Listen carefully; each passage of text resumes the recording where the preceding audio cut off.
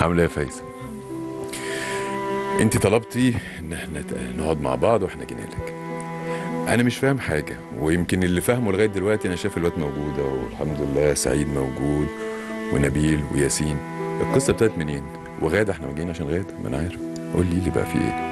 القصة بدأت اللي أنا طلعت اللي أنا كنت قاعدة في بيت بقالي خمس سنين على الطوبة. في الأول كنت عايشة في إيجار جه بيت العيلة بتاعهم وقع خد طلعني من بيت الإيجار اللي كنت عايشة فيه وديني في شقة على الطوبه خمس سنين. بيخش لي حشرات براس فرين صراصير. أنا واحدة ممرضة معايا شغله إيه اللي قعدني في الوضع ده واستمر فيه؟ وأنت مش قادر تصرف علينا. لا قادر تأكل ولادي لا قادر تكسيهم لا قادر تشربهم لا قادر تعال- تعالي حتى.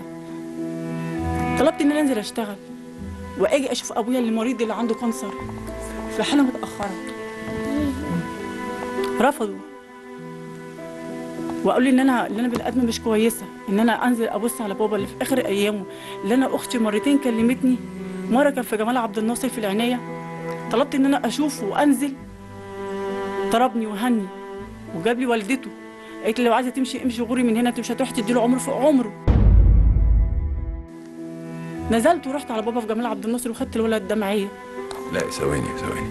يعني أنت دلوقتي حياتك معاه ماديا ما كانتش الأمور في أحسن لا، حالاتها. ثم أنت بداية المشاكل ابتدت تتصاعد من فكرة إن ابوكي تعب فأنت عايزة تزوريه وهو بيقول لك لا. من قبلها بسبب مصروف الولاد إن هو رايح يجيب لنفسه هدوم ويظهر قدام الناس وولادي بيشحت لهم هدوم من ولاد عمتهم ولاد عمتهم بنات. تخيل إن أنت عندك صبيان وبيلبسوا هدوم بنات.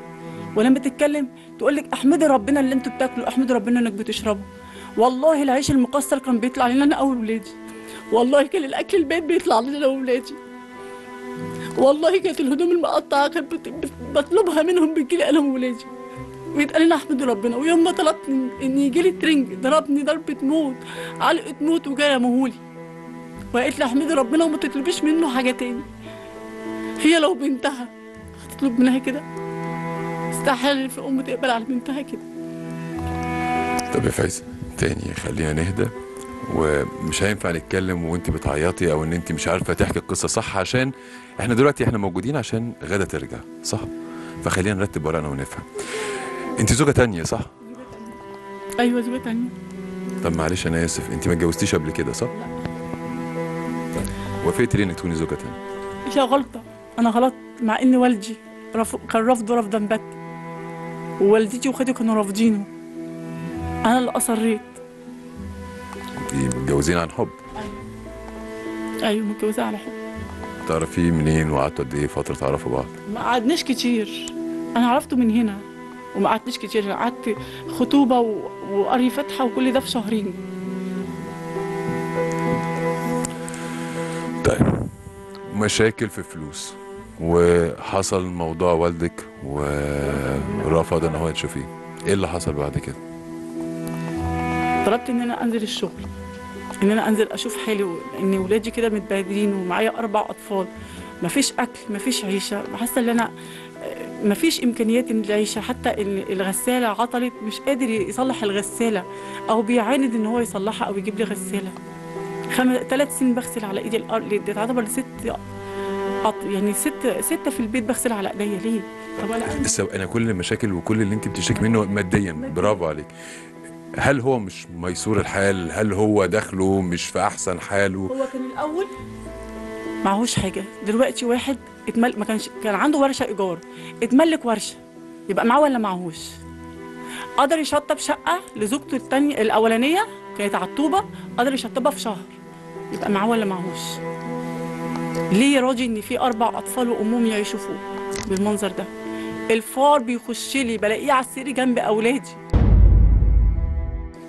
وساعات هو بيصحينا بيقول لي في فار في البيت إزاي طب إزاي فايزة هو زوجته الأولى علاقتك بيها إيه؟ وإيه اللي بيحصل ما بينكم؟ وهل بصراحة أنت بتقارني نفسك بزوجته الأولى؟ لا صدقني لا لأن زوجته الأولى كانت قاعدة الأول معايا في الشقه الإيجار قعدت معايا تسع ش- آه، تسع شهور لحد أنتوا أنتوا الاثنين في نفس الشقة؟ لا أنا كانت هي لها شقة وهي كان لها شقة فهو جابها قعدت معايا في الشقه الإيجار وطلعت من عندي حامل. كانت علاقتنا كويسة كان حقوقها الشرعية كمان بتاخدها عادي. لحد ما بقت حامل راحت ولدت عند حماتها اللي هي تعتبر مرات عمها. بعد كده فصلنا عن بعض. وعنده كم طفل من زوجته الأولى؟ اتنين. وأربعة منك وأربعة منهم